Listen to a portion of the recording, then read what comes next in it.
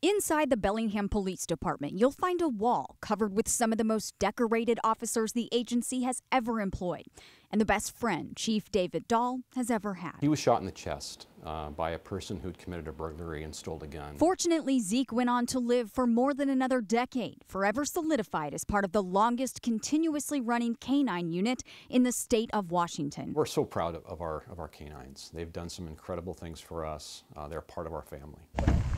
And a pivotal part of some of the agency's toughest investigations. Meet two of the three of the BPD's current top dogs. Good boy. There's Rudy Rudy is three years old.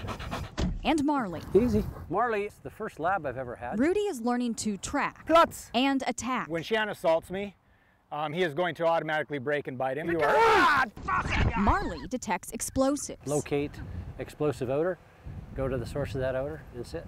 Their handlers, experienced canine officer Jeremy Woodward and 26-year veteran of the canine unit and odors. master trainer Shan Hanen, let our cameras come along to record the dogs in action. Basically, there's some casings out there, like uh, you've been driving down the road capping off a gun, or you've been standing and shooting, so you're basically doing an investigation looking for evidence. Within minutes, Marley finds the casing Shan tossed deep in the weeds.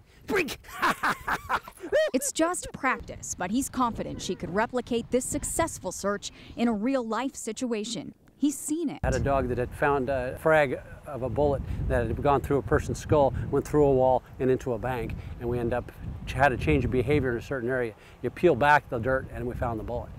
Uh, would you found it without the dog? Probably not.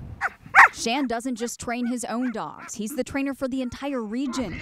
He's trained so many he can't count them, or the number of stitches he's gotten from bites he insists are always his fault. I give up. Each dog needs anywhere from 200 to 400 hours of training. Rudy and Marley wrap theirs up for the day, Sit. following in the paw prints of all the great officers who have served the Bellingham Police Department since 1968. It's a very, very strong bond. Uh, you ask any canine handler that, it's probably the strongest bond they have. In Bellingham, Joanna Small, KIRO 7 News.